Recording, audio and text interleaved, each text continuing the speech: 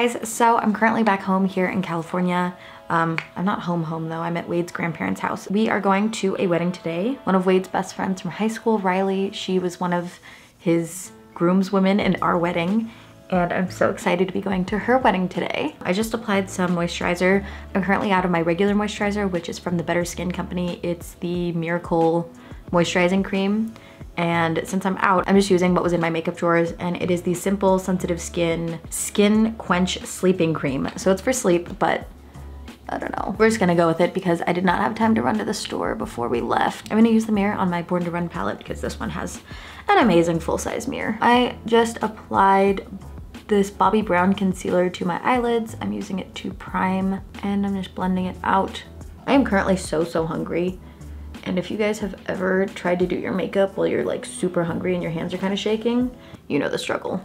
It's not fun. So the palette I'm using today is the Urban Decay Born palette. It looks like this.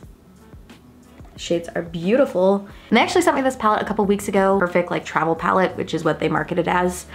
And I really like it. I think it's awesome. I'm going to start off by using Weekender and it's this light brown taupey shade and I'm gonna just use that all over my lid.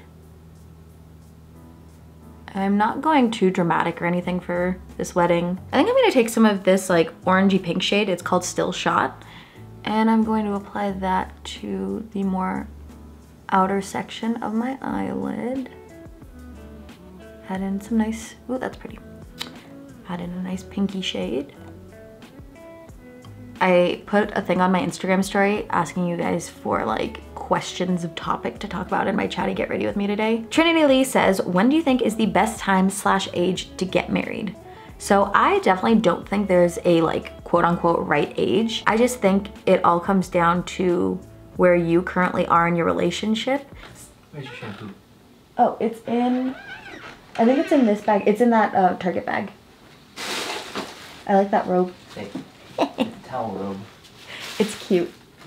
Bye. Yeah, I don't think there's a right age to get married. I think it all just depends on where you and your significant other are in your relationship and also where you guys are financially. If you and your significant other feel that it's the right next step for you both to take, then definitely move forward with it. I don't think there's a right age. If you guys ever have problem with like shading and blending out your eyeshadow, go with a lighter hand. That was a huge problem I used to have when I first started doing like my makeup was I couldn't figure out why my eyeshadow always blended so harshly and I couldn't unblend it.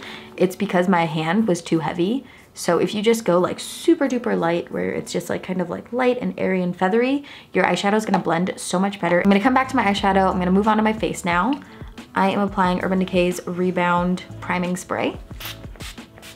Heads up guys, this Get Ready With Me has a lot of Urban Decay products because they send me a lot of stuff because they're so nice and I actually really genuinely love their products. And this isn't sponsored by them at all, I just have a lot of their products in my makeup routine. Now I'm going to take my Born This Way foundation from Too Faced.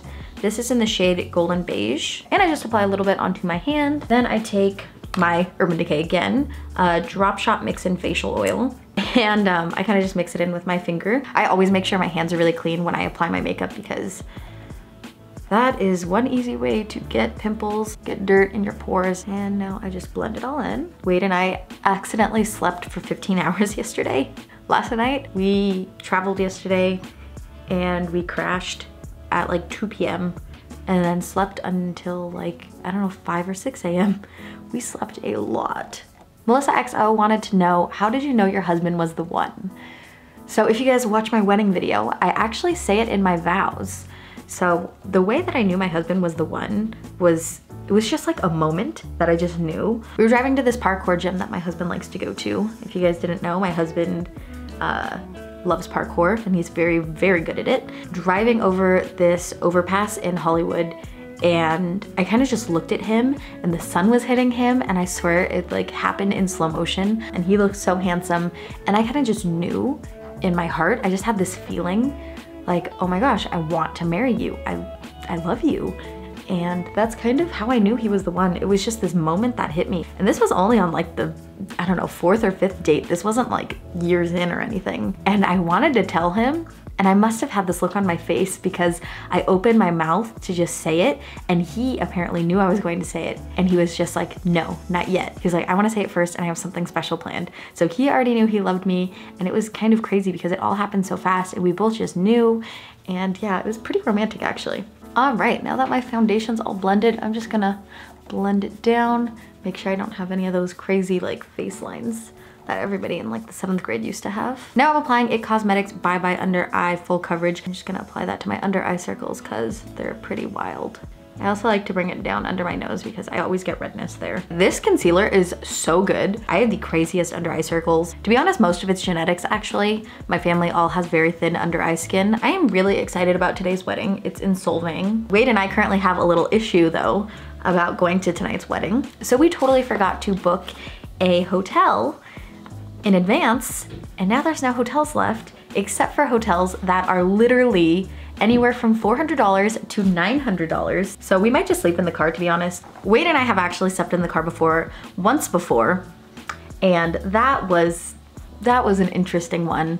It was when we were driving from California to Minnesota in January, February, and it was super cold. And when I say super cold, it was below zero. So it was freezing. We were driving on the highway when a blizzard started, a full on actual blizzard where you could not see more than like a foot in front of you. And we had to go like 20 miles per hour on the highway because it was so dangerous. We couldn't see anything and it was really terrifying. Like we had looked at the weather app and it was not predicted. It came out of nowhere and there was nowhere to stop because the towns were so far apart. The town we were planning on stopping in was still, I think 30 miles away and we had to make it there in this blizzard. So we're driving and finally after like an hour of driving 20 miles per hour on the highway, we get to this little motel and Wade gets out of the car and he's like, just stay in the car, I'll run in, I'll get everything set up so you can just like stay warm in the car for now. And he finally comes back out and he looks all disappointed and I was like, what's up? And he's like, nobody's in there. And I was like, what do you mean nobody's in there? He's like, nobody's at the front desk. There's no way to check in. So I don't know, I don't know what you wanna do. We can't keep driving because the blizzard is happening and it was crazy. So we decided to sleep in the car and both of us were like not really happy with that decision because negative 16 or negative 20 outside. It, it, was so cold. So I put on all of my layers. I wore like three pairs of pants. I wore like three or four pairs of socks. I wore a couple jackets and we only had one big blanket in the car. And Wade was like, you should wear it. You're always cold. I'll be fine. And I had an extra big heavy jacket. So I insisted Wade put it on. He didn't want to wear it because he wanted me to put it on.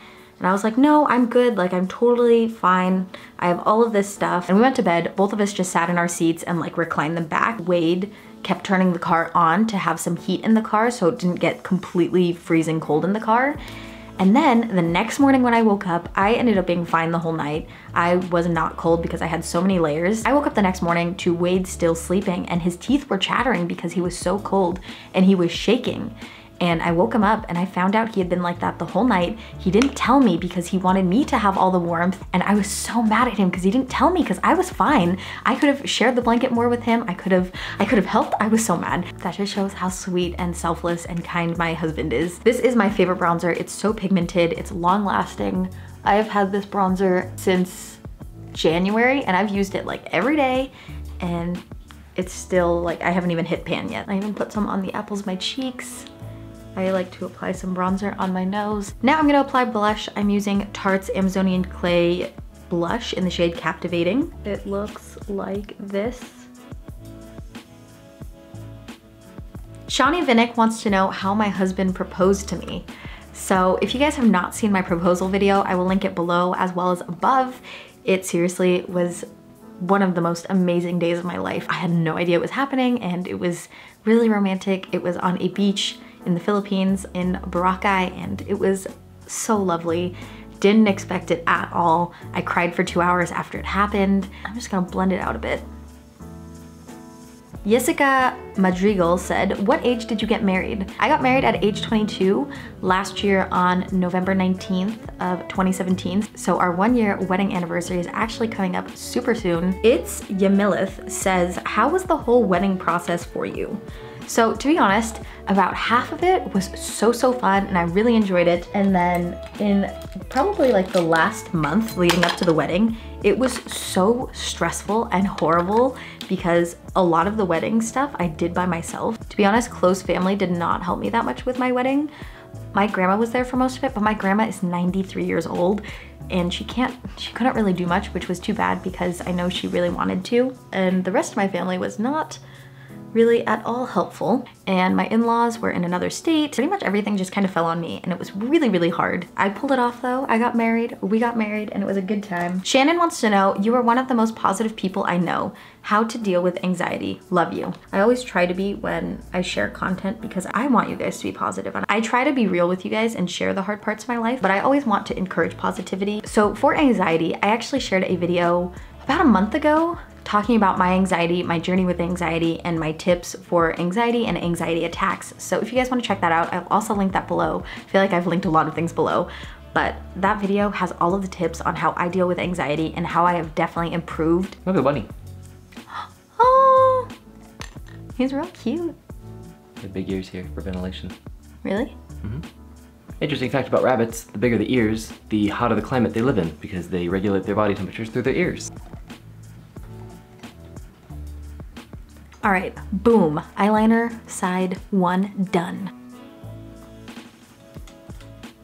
So while I wait for my eyeliner to dry before I fix it, because it's a lot easier if it's dry and then you fix it, because if it's wet, it smudges more and it's just a whole ordeal. But if it's dry, you can kind of just wet it and then, this is the highlighter I've been using from Trestique. And it looks like this, it's a rose gold shade. And what I do is I apply it on my hand like that because I find that if I like apply it here, it removes a lot of makeup. Then I take my damp beauty blender and I just bounce it on my hand. And for after. I wish we were super rich so I could just buy everything on the registry. How cool would that be to just buy everything on a couple's registry? That'd be awesome. They'd like, oh my gosh, we got everything. Who, who? One couple? What? Actual goals, guys. Riley, if you watch this, we wanted to. For lipstick, I'm using this one from Mented Cosmetics. It's in the shade Pretty in Pink. It looks like that. I love this brand because they make cosmetics specifically for women and people of color. Now I'm just gonna fix this.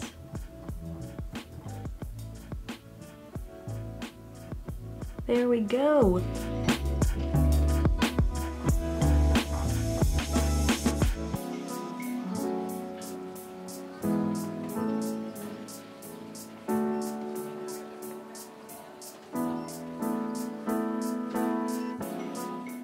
All right, now I'm just gonna take out my hair. I have it curled from yesterday or the day before.